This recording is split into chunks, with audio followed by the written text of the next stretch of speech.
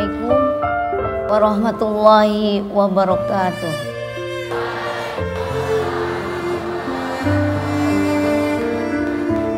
Malam ini Umi akan membacakan sebuah puisi karya Ustadz Muhdor yang berjudul Kita Bukan Siapa-Siapa.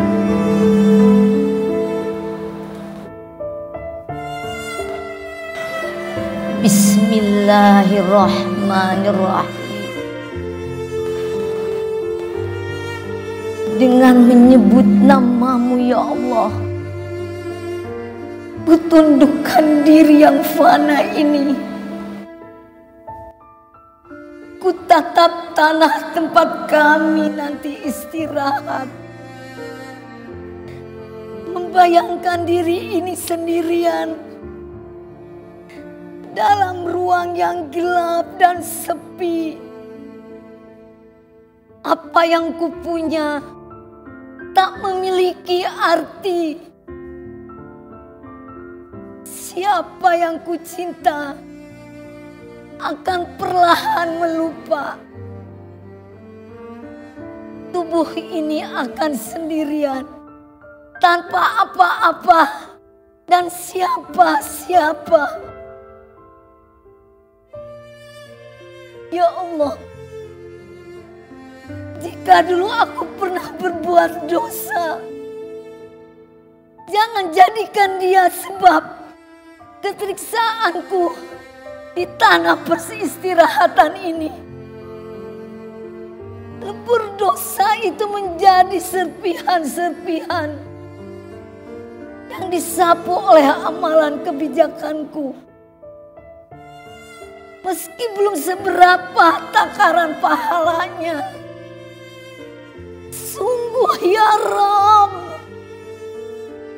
Tak ada yang membuatku takut. Kecuali kengerian ini. Tak ada yang membuatku takut. Kecuali rebah sendirian. Di dalam ruang yang gelap. Ruang tempat segala yang benar ditunjukkan dan segala yang salah ditimpahkan. Jika ada pilihan selain pasrah, izinkan aku lebih lama ya Allah. Masih ada cinta yang belum kusampaikan kepada anakku.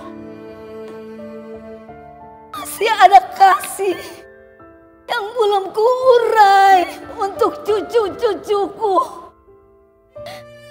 Masih ada doa-doa yang belum selesai kuusap untuk santriku.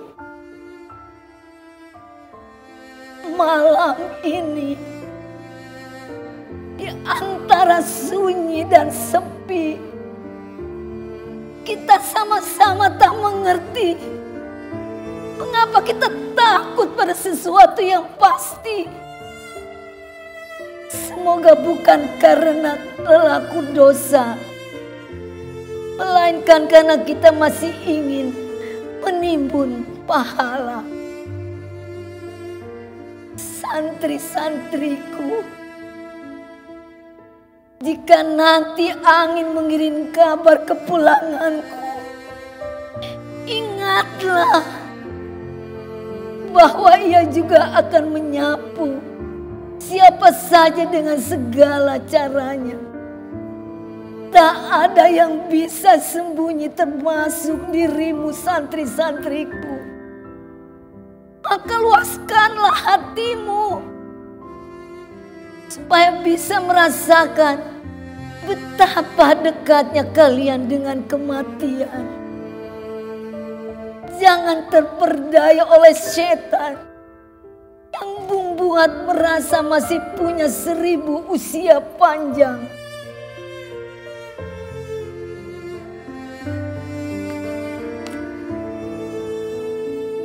Jangan, jangan biarkan setan membuatmu angkuh. apalagi merasa benar atas segala perasaan.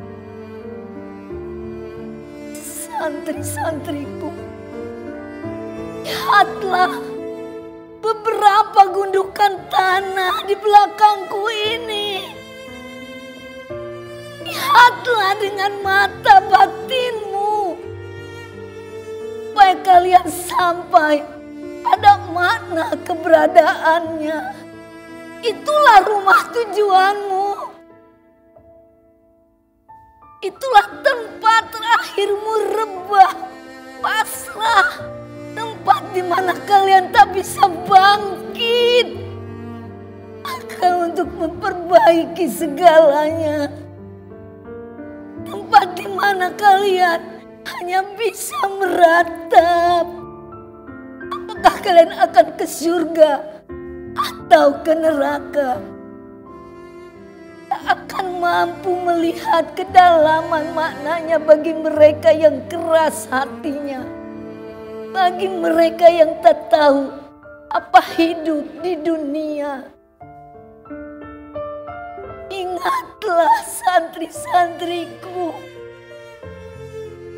Sibukkanlah dirimu mengoreksi diri sendiri Buatlah matamu buta akan diri yang lain.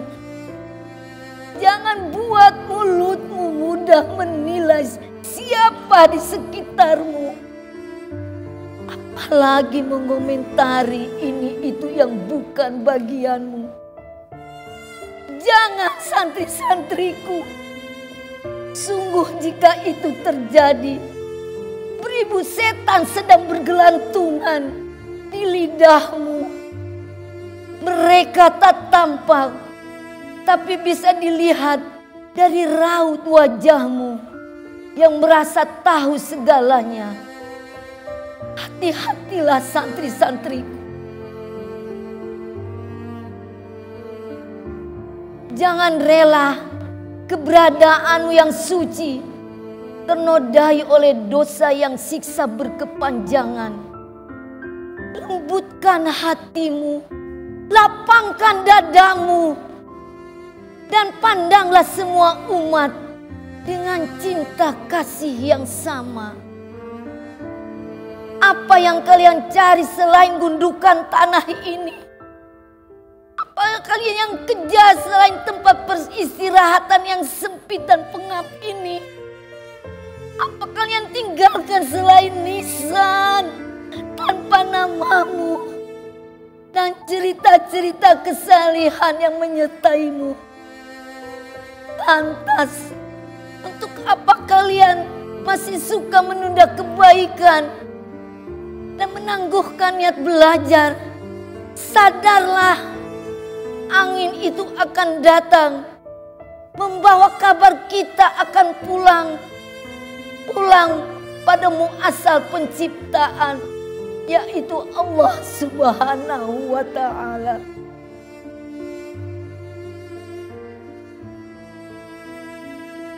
Santri-santriku, kehadiran kita malam ini adalah untuk menggelar doa-doa. Untuk mengalirkan air mata cinta kedua orang tua dan guru-guru kita untuk memuarakan maksud dan niat yang mungkin perlahan sudah dilupa. Malam ini bukan sekadar malam sebagaimana malam-malam yang lalu. Ada ribuan malaikat menyertai, bahkan duduk di sebelah kita. Maka hadirkan kerendahan hatimu, supaya kebaikan yang terbesit dalam dirimu dibawa ke altar tertinggi di hadapan Allah yang maha segalanya. Sudah ya nak, tidak aku mulai kaku membaca saja. Gorokan sudah panas menahan sesungguhkan. Aku takut pakai baca ini menjadi tangis yang tak berkesudahan. Sampai jumpa anak-anakku. Sampai jumpa. Pandanglah segala dengan cinta. Dengan rasa yang ribuan malaikat menyertainya. Satu hal lagi yang perlu kita ingat juga. Kita bukanlah siapa-siapa. Maka janganlah menengahkan kepala di hadapan siapa-siapa. Rendah hatilah supaya teduh wajah dan lidahmu. Sampai sekian. Wassalamualaikum warahmatullahi wabarakatuh.